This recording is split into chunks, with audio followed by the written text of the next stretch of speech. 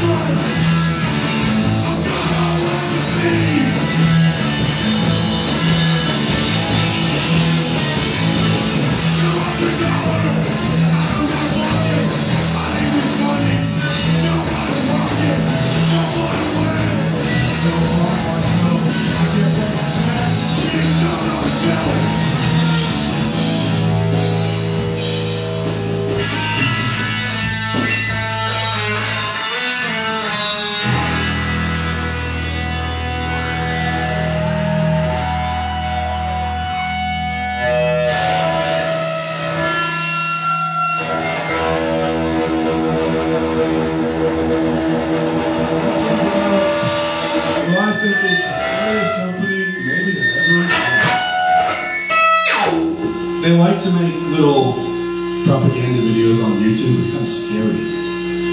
I don't like them. They, they scare me a lot. We're talking about Spot.